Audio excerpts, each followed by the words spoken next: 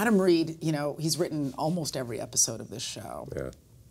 And he, the sense of, of humor is so specifically his. This is the first year where it's venturing kind of outside of his imagination. But I guess I just want to hear a little bit about what you think about Adam Adam's writing because it is it, it it's it's rare that a show has one singular creative voice I know. for so long.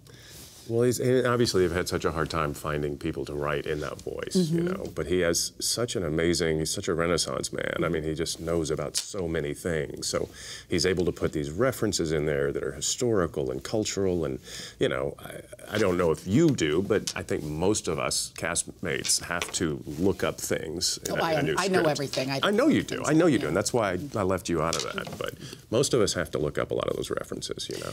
I just remember uh, like an episode. I think it was. I couldn't tell you what season it is either, but the one where um, we've got to see Pam's Pam Poovey's back tattoo, Right? right? Yes, and it yes. was like. It, it was like three stanzas from like Chaucer or something like that. Like we all had to go and Google it. Right, yeah. Um, and then right after that is a sensational dick joke, which I think you know it's like it's a nice palate cleanser. It is. I can't decide which one of those is the palate cleanser and which one's the meal. Never miss a beat. Subscribe to Larry King now and watch new episodes every day.